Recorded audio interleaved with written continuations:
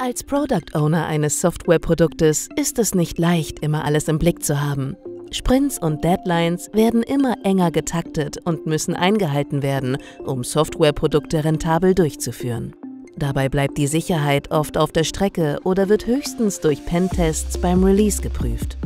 So kann das Produkt im schlimmsten Fall gehackt werden. In jedem Fall ist das Nachsichern sehr aufwendig und kostenintensiv vom Vertrauensbruch gegenüber Usern ganz zu schweigen. Daher muss Security während des gesamten Entwicklungsprozesses berücksichtigt werden. Von ersten Anforderungen und Designs bis zu Release und Betrieb. Dieses Prinzip wird als Security by Design bezeichnet.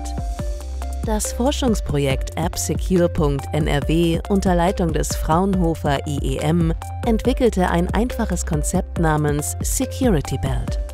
Ein Reifegradmodell, um Unternehmen bei der systematischen Einführung der Security-by-Design-Methodik zu unterstützen.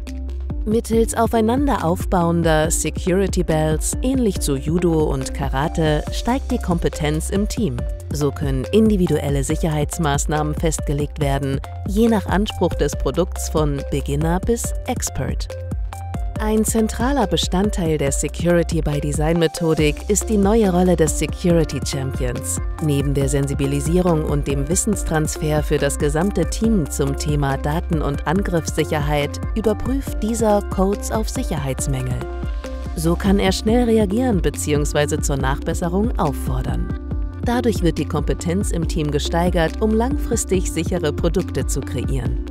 Im Rahmen von AppSecure.nrw wurde für Security Champions ein intensives Training weiterentwickelt und ausführlich verprobt, um Software-Developer auf diese Rolle vorzubereiten.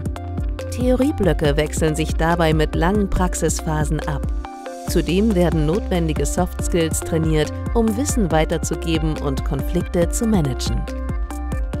Vermeiden Sie kostenintensive Hotfixes und schlechte Presse. Machen Sie Ihre Softwareprodukte von Anfang an sicher.